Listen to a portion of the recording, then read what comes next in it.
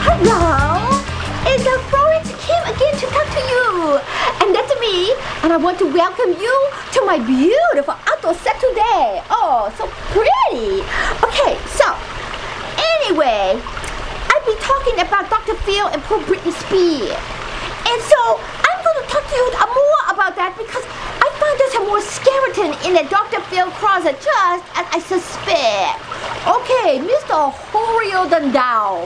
He he went into Britney room right at the hospital, you know all that, and then he got kicked out, and then the family say no, he wasn't supposed to go. Okay, he go on TV say, oh, I'm not sorry for what I did. I believe what I did was right.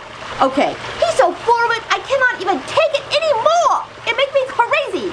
Okay, so I do a little digging, you know, and I found that Dr. Phil had some with a young lady back in 1988 while he was married, he got into a situation with this 19-year-old woman. She was a patient or she was an employee. He gave her a job, and she claims they had intimate affair. And he said, "Oh no, no intimate affair here." Well, those claims from the girl was so intense that he was brought up on ethics charges and he was on probation with his medical license and he had to take classes on ethics. Well, apparently, it seemed like he must have ditched some classes, right? He cut class because he's not being so ethical with the Miss Britney Spears situation, right? Okay, so Dr. Phil has all sorts of problems with what's right, what's wrong, and what the line in between. Anything that serves him and his rating make it so much better.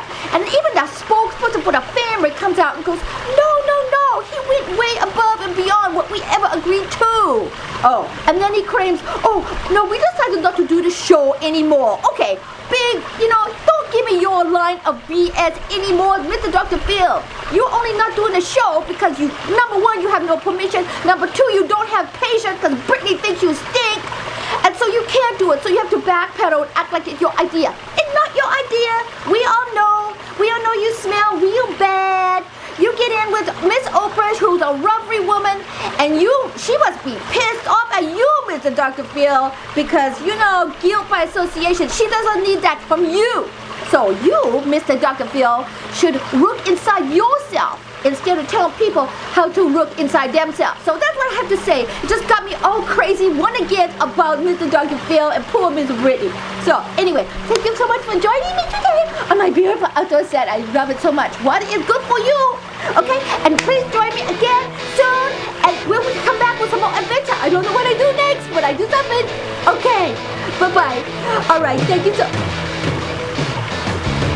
Okay, here we go again. What? This is... This is not my music. I could get a person and a child in a, in a first grade